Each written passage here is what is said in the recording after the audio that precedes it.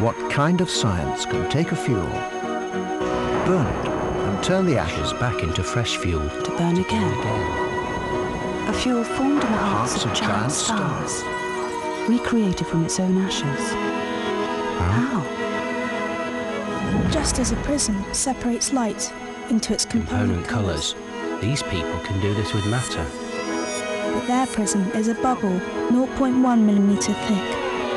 They take burned up fuel and use it to make fresh fuel. To burn again. Again, Of the 3% that's left over as waste, most is Cased in concrete and steel or turned to glass. But this is not some distant galaxy, nor the far future. It's today. Today, here in Britain, what looks like science fiction Is actually science.